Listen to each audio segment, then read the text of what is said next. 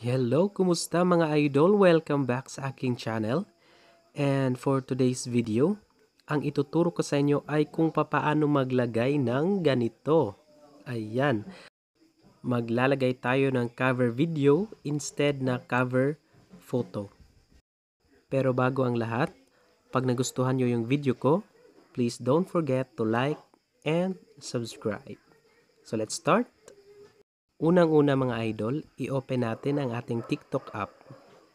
Pero dapat yung TikTok app natin ay yung latest version. Okay? Then pagkatapos, i-click natin yung Me. Ayan. Pupunta tayo ngayon sa ating profile. Then next, kung mapapansin nyo dyan, cover photo pa yung nakalagay. So papalitan natin yan ng cover video.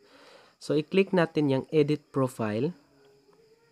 Ayan, click natin. Then, pagkatapos, uh, click natin yung change video.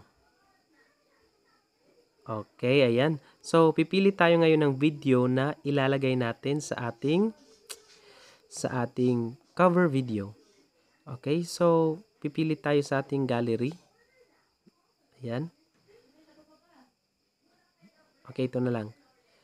So, pag nakapili na kayo, just click the video. Then i-click natin yung save sa upper right side ng ating screen. Ayan.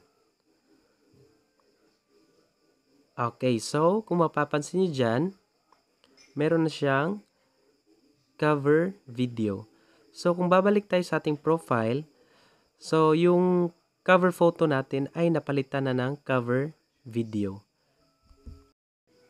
Okay, so ganyan lang kadali ang paglagay ng cover video sa ating TikTok profile.